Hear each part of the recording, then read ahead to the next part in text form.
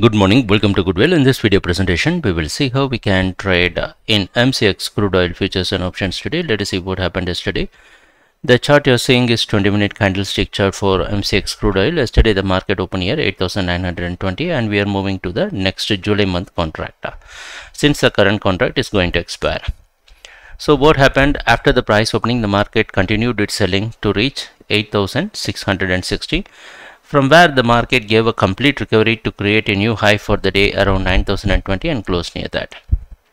Today you can expect the market to open somewhere near 8960 so you can go for selling till 9060 by placing stop at 9080 expecting the market to continue selling to reach various target marked as possible support how we can do this in the options market. The option chain what you're seeing is for July month contract. In this you can select 8800 put option strike. You can buy this put option whenever the price hits any resistance with a 50 point stop.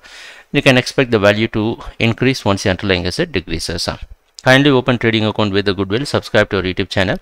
For account opening you miss call to 937 927 take care. Bye